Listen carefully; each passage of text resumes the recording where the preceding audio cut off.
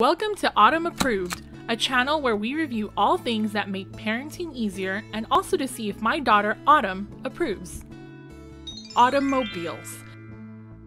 In this episode of Autumn Approved, we delve into a couple of helpful hacks on the very much slept on Wonderfold W1 stroller wagon. The Wonderfold W1, unlike the other W series models, does not have removable seats it has a flatbed carriage with no footwells, but has two 5 point harnesses.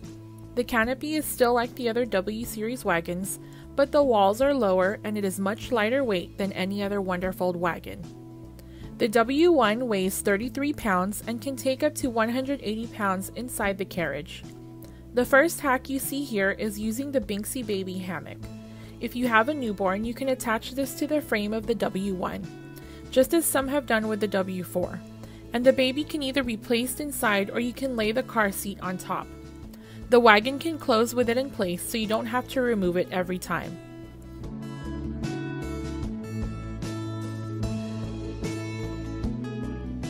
Here is a brief overview of how you can attach it to the frame.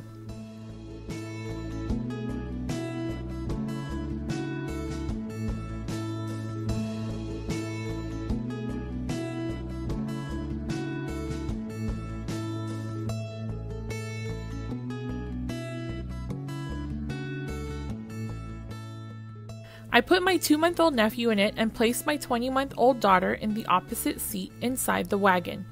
She is approximately 22 pounds and 31 inches tall. You can see that she still has plenty of room inside the wagon. If you have a quick trip, you can also set the car seat on top of the Binxy baby and it secures with the straps. So while the W1 does not have a designated car seat adapter, the Binxy baby allows the car seat to be placed on top and secures with the strap. I was not able to use the W1 canopy with the car seat in, but if you just lay the baby in the hammock, you can still use the canopy. The next hack shows how you can obtain a custom canopy look without the custom canopy price. It adds extra shade and you can choose whatever design you want. You take two car seat canopies that can be either the same design or different designs, Measure approximately 6 inches from the top where it's tapered and just cut straight across. Do that for both canopies or just one if you only want one side.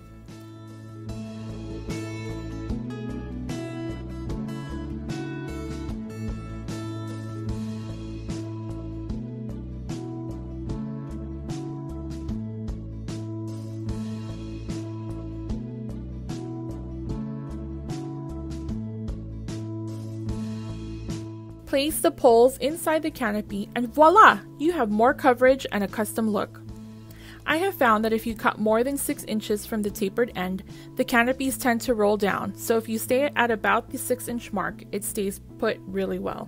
Overall, the W1 is one of the lighter weight stroller wagons that has great maneuverability, high weight limit, and a lot to offer for its price point. As always, if you have any questions, please feel free to leave a comment below. Until next time on Autumn Approved.